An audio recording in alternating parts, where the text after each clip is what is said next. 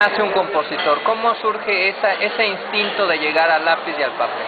Pues yo creo que es un desarrollo más bien del compositor porque se trae de nacimiento. Eso es de nacimiento. Yo lo considero así. Y creo que mis compañeros y colegas, todos ellos, eh, lo, lo de una manera también.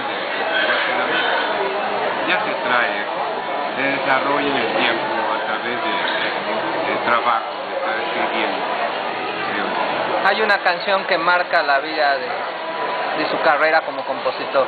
Hay varias, pero principalmente la que me dio a conocer al público internacionalmente y, y por ende fue la primera que grabé yo como productor independiente, nomás contigo. Esto es que estando yo, ¿me puedes tener un poquito más? Sí, claro.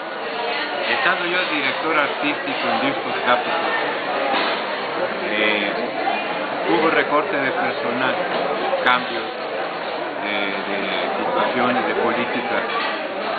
Y entonces yo me vi eh, sin trabajo, pero tenía en gusanito la idea de grabar mis canciones.